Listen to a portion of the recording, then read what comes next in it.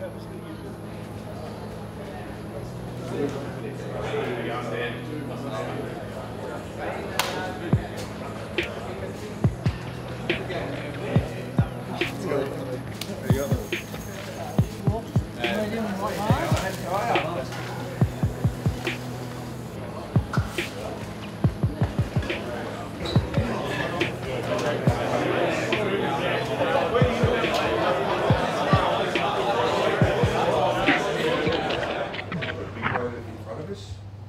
a lot of hard work, and a lot of opportunity for us.